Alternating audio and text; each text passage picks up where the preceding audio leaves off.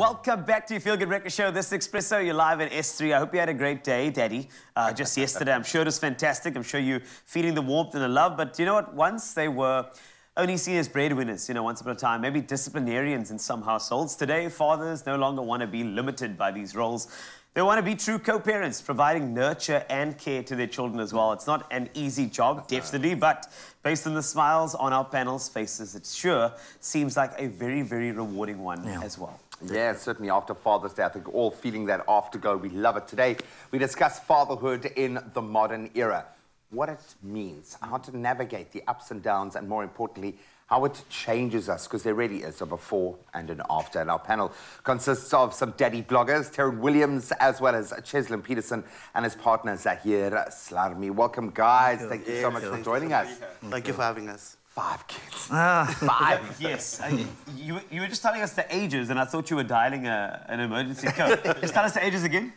So uh, 13, 11, 9, and then I got uh, twins, uh, 7 and 7. Oh, you So my wife and I tried for 4, which was crazy, and then we got a bonus one. And then you went all in. You were like, no, I'm there. All to the love it. middle of the table. Um, of course, that in itself is a conversation starter, but we encourage you guys at home to join in on the discussion and share your thoughts, your insights, and your experiences with us. Drop us a voice note, please, on our WhatsApp line 063408 8863.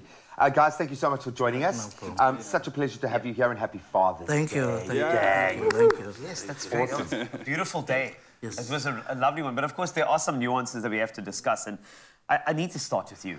Um, first and foremost, are you okay? Yeah. Um, secondly, you know, I- When last did you sleep? yes. He's been awake since last night. Uh, but it's, it's important for us to just navigate this space over here because, I mean, you've got quite a few kids. Yeah. And naturally, you have to be something to all of them. Yeah. Even though your overarching, your blanket statement is that I'm, you know, your dad. But now to have these relationships with each one of these kids. Yeah. And, and look, and also their different ages. You have to treat them in certain sort of ways in terms of their maturity levels and how you raise them.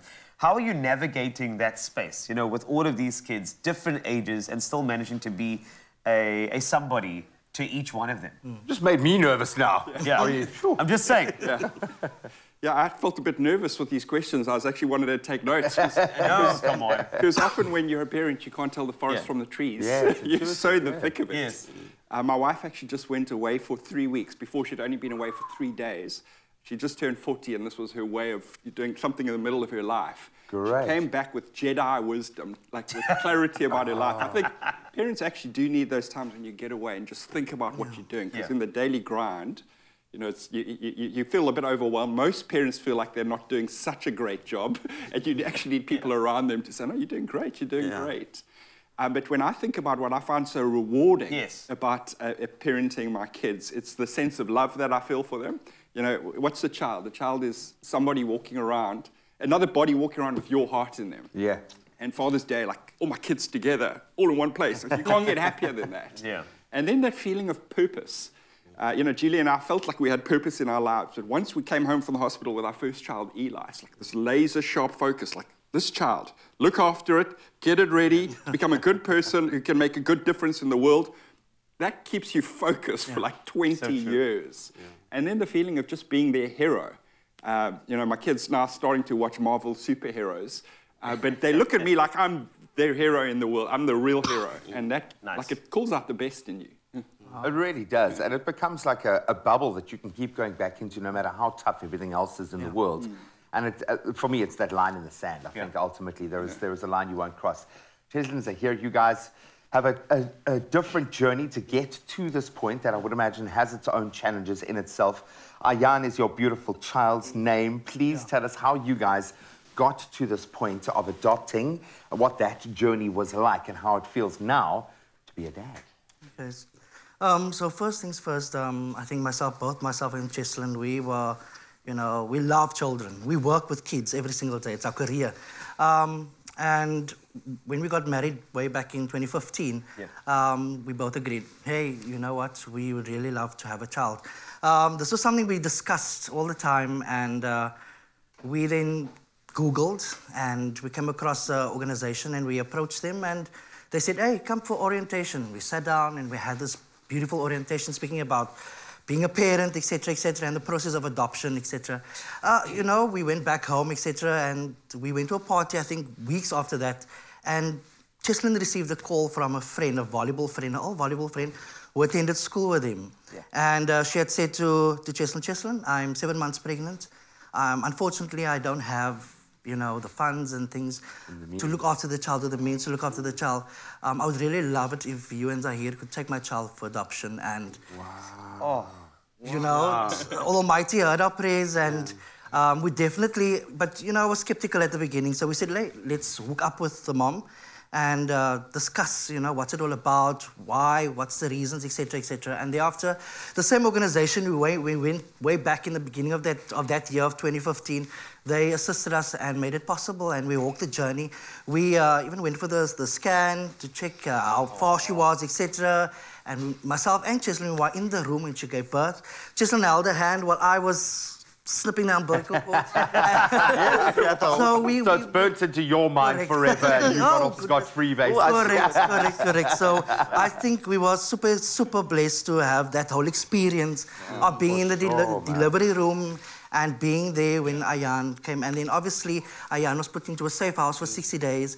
And I think by the 16th of December, Ayan came home to us. And that's Oh, you must have been itching. Wow. Oh, my wow, word, wow. you must have been. That 60 days were the worst days of my life because yeah.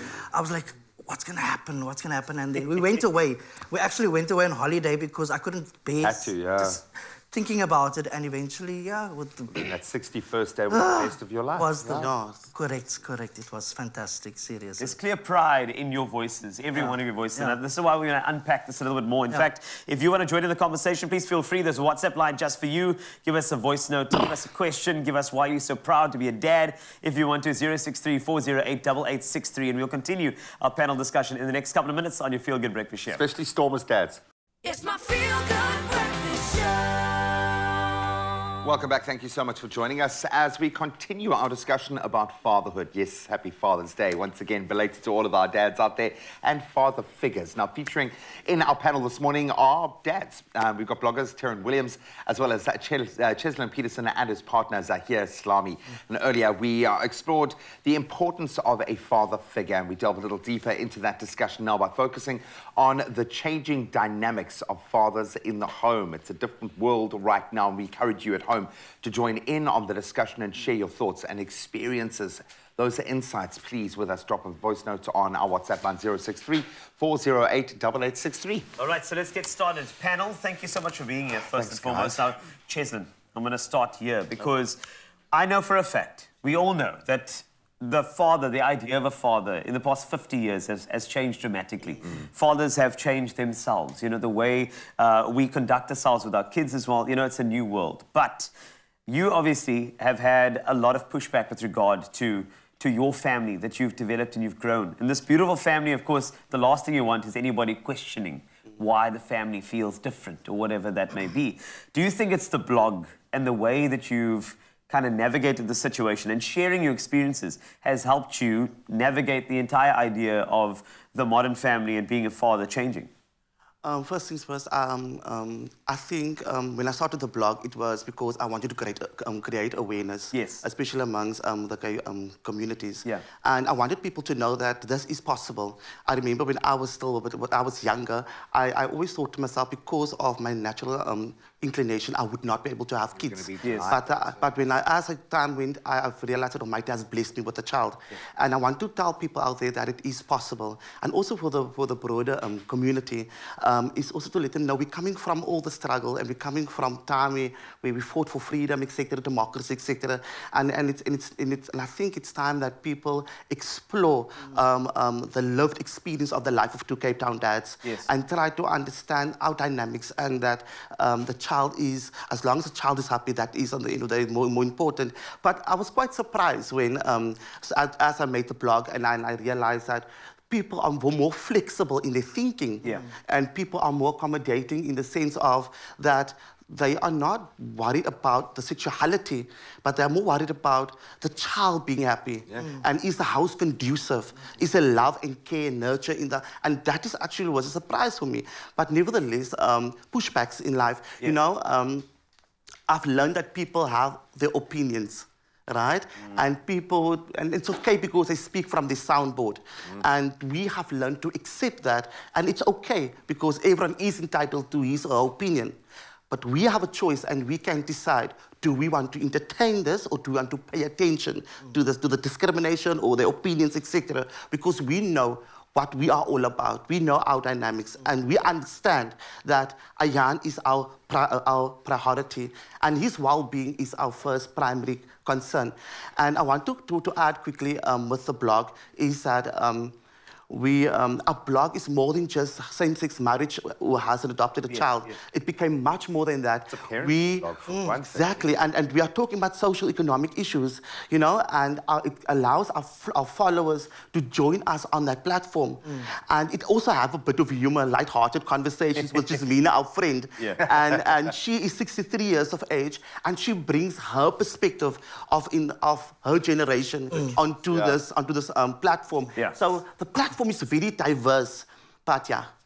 I'm gonna, I'm gonna leave it to the two of you to think about who's the better parent because we need to do my relationship by. I mean, I mean, I'm just kidding. Um, I absolutely love that because you're teaching your boy every day a lesson in dealing with the situation Yes. more than anything else, more than what you say, what you do Yes. are the lessons they learned.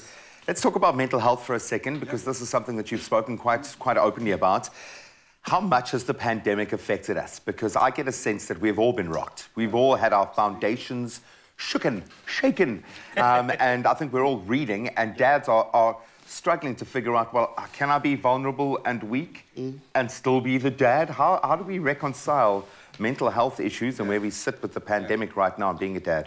Yeah, good question to ask today. Today is International Father's Mental Health Day around the world. so you guys timed, yes. timed that question perfectly. But this is actually why we had the discussion. We knew it. Yeah. um, it's been waiting a whole year to have this discussion, so let's, let's make it count. Yeah, so um, so there's something about masculinity that men often think, you know, a real man does life alone. You know, a strong guy sorts out his problems, he makes a way for his family, and um, the pandemic, you know, made life uh, more difficult. Uh, Yeah. So one isolating men even more. So, uh, you know, a a much healthier way of being a man is reaching out for help. Yeah. no man who succeeds gets there without reaching out for help, especially when it comes to relationships that succeed. So, what the pandemic did is it isolated um, uh, men more. It gave them more difficult kids to parent because the kids are going through uh, difficulties of Yes. being isolated themselves over the time. And then you've got the financial and the, the employment instability, so a lot more stress, more isolation. And then you understand why the stats have said that there's more anxiety, more depression in more men, and also tragically a higher suicide rate. So this is a serious thing. I've actually written a, a post on it recently on my blog, The Dad Dude. Yeah. And, uh, you know, men, we need to talk, and I'm busy uh, writing about that. And um, the good thing that came out of the pandemic is that men have become better co-parents and they're spending more time with their kids. So there's a flip side positive too. Yeah, man, it was one of the greatest gifts I could have been given from a dad's perspective. Yeah. Seven months alone with my child. Yeah. What what price would you put on that now to get Yeah. that back again? Yeah, yeah. Is a weird question to, to ask yourself. Uh, spot on, gents. Thank you so much. We're going to continue the discussion. We are talking about the role that a father plays in today's society. What does that father figure look like in your world? We'd love to get your take and your advice this morning, please. We're just a bunch of dads trying to make our way through the world. We need your help. 063 408 8863. Drop us a line. It's my feel good breakfast show. Welcome back to Feel Good Breakfast Show. This is Expresso. You're live at S3, and we're back to our discussion about fatherhood, one of the most beautiful virtues in life. Now, featuring our panel of dashing dads, bloggers Taryn Williams, as well as Cheslin Peterson and his partner Zahir Slami, and they're standing by with some amazing advice. In fact, dad advice to make sure that you are confirmed and ready. Before we get there, I think it's important for us to. Uh, we've been enc- encouraging you to to message in and. We want to hear your voices with regard to this, so let's go. Yeah, man. We've got a couple of people weighing in. Thank you so much for doing that. Let's start with Nolovu, who had this to say on our WhatsApp line. Let's take a listen.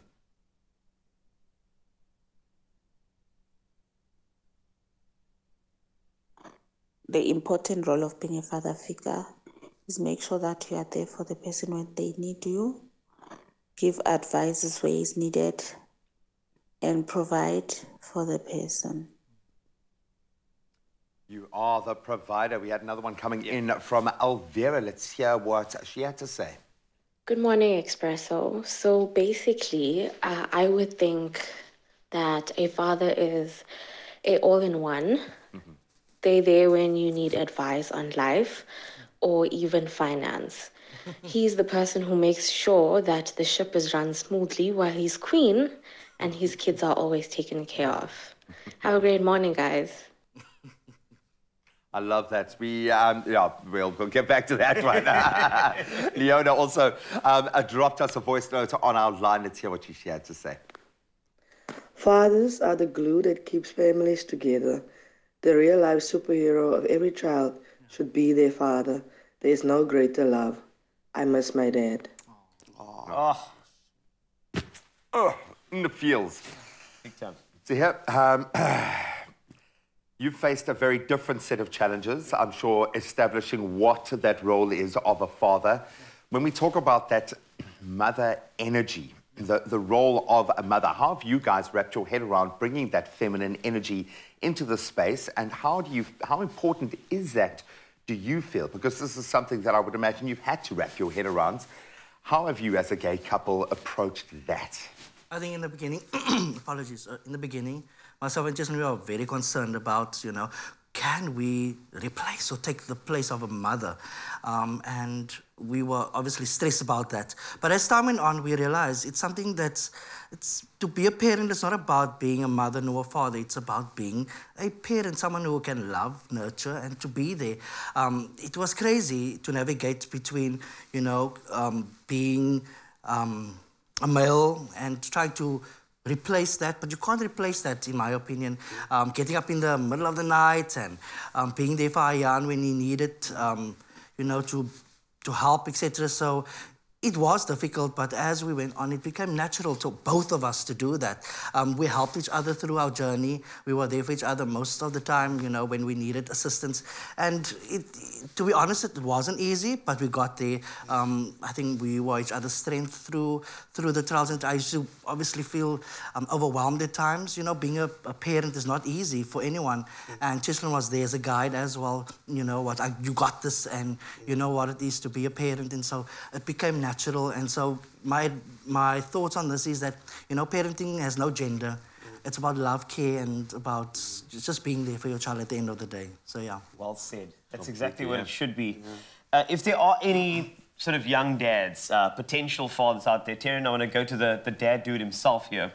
uh, how, how would you sort of equip them for what is to be expected? How do you get them excited about this role as a father? What would you say to them? Yeah, so in terms of what's expected, you've got to love your kids, Yeah. you've got to lead your kids. Mm. Mm. Easier said than done. Mm. Those are the two things you've got to do. Yeah. Love them every day. See if you can show them the love, tell them you love them. Kids need it like flowers need sunshine. And then lead them. You know, tell them what's true, how to live, how to treat people, show them with your example. And in the beginning, you have 100% control on this life, but as they get older, you give them more space. So, Taryn, just to so just to cut you off there, uh, apologies. I know that you're um you would have a mic difficulty, but uh, basically, Taryn, what, what Taryn echoed is the fact that you know there's there's a lot of excitement around you imparting a lot of that shine of of of just that awareness of of that kid knowing that you're there for them. I think that's so powerful too, and I love what you said about you know they they need that type of affirmation and presence like flowers need sunshine. I think that's so powerful. Yep, you just got to be a Swiss Army knife. You just got to be there and be ready to do it all. Um, gents, thank you so much for joining us this morning. I, I was brought up by a woman, and she played the father role incredibly well. The father role doesn't have to be a traditional pillar, it has to be something that you show up for every day, regardless of the guys.